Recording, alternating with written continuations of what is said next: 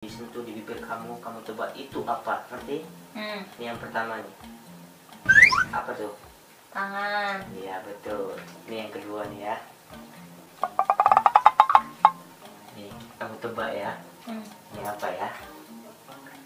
Kamu tebak ntar ya. Sabar ya. Coba ya. Sabar ya. Hmm. ntar ini agak sulit kamu harus bisa nebak ya tapi ya. Geser geser geser dulu geser. Geser. Coba ya